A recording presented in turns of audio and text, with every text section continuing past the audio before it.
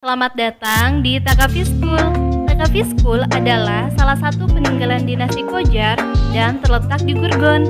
Peninggalan ini terdaftar sebagai salah satu peninggalan nasional Iran pada 16 Maret tahun 2002. Pada masa lalu, bangunan ini digunakan sebagai rumah tinggal, setelah itu digunakan sebagai sekolah.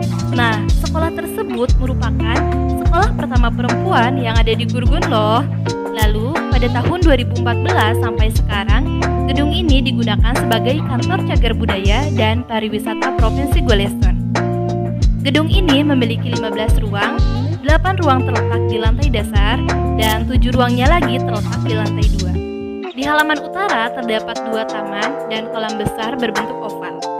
Arsitektur gedung ini sangat indah dan terjaga keasliannya sampai sekarang. Thank you for watching and see you next time.